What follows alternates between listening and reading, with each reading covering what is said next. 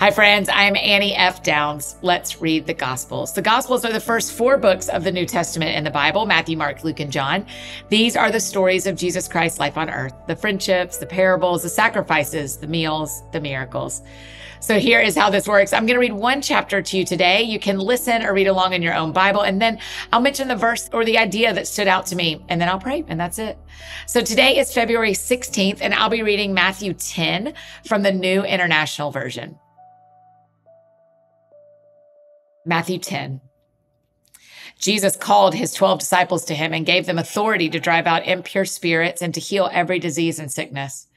These are the names of the 12 apostles. First, Simon, who is called Peter, and his brother Andrew, James, son of Zebedee, and his brother John, Philip and Bartholomew, Thomas and Matthew, the tax collector, James, son of Alphaeus and Thaddaeus, Simon the zealot, and Judas Iscariot, who betrayed him.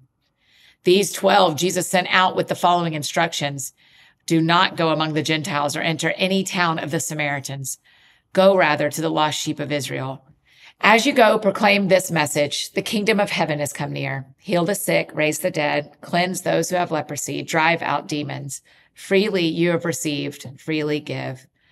Do not get any gold or silver or copper to take with you in your belts, no bag for the journey or extra shirt or sandals or a staff, for the worker is worth his keep.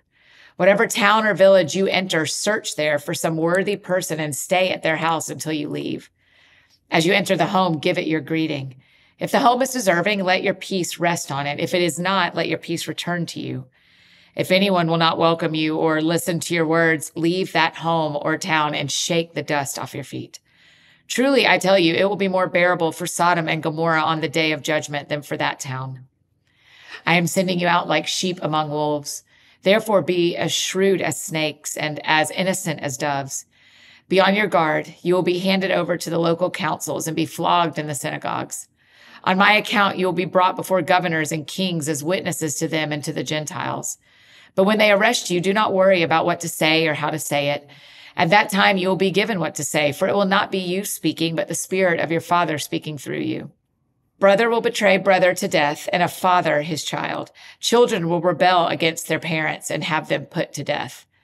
You will be hated by everyone because of me, but the one who stands firm to the end will be saved. When you are persecuted in one place, flee to another. Truly, I tell you, you will not finish going through the towns of Israel before the Son of Man comes. The student is not above the teacher, nor a servant above his master.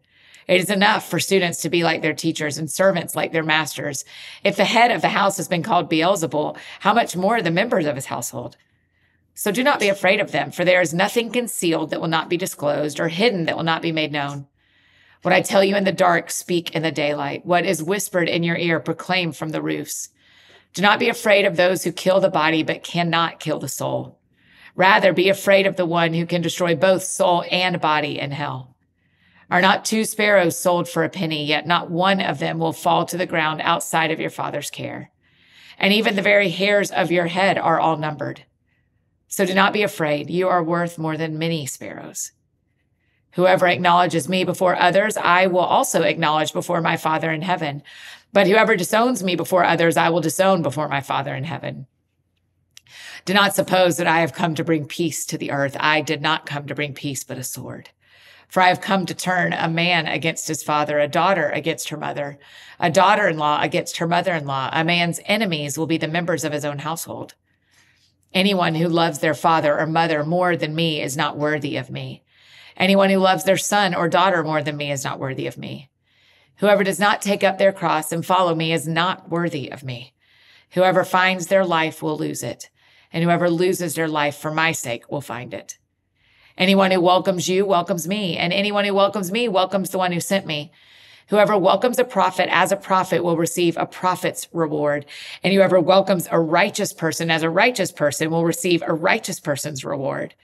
And if anyone gives even a cup of cold water to one of these little ones who is my disciple, truly I tell you, that person will certainly not lose their reward.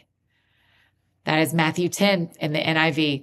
And the idea that is standing out to me is everything we just read about rewards from God. I feel like it's a thing we don't talk about very much. We talk a lot about blessings, but we don't talk about rewards. We kind of don't want to say that God has rewarded us for something. It feels like it is prideful or something. And, and yet throughout scripture, God tells us places where we will be rewarded in response to what we do. And so even here, if anyone even gives a cup of cold water to a little one who's my disciple, the person will not lose their reward. And so I wonder if today, as you're just driving around, living your life, going to work, going to school, just thinking about this concept and yeah, what is a reward from God and what does it look like versus a blessing? I think it's just a curious thing to think about. So let's pray together.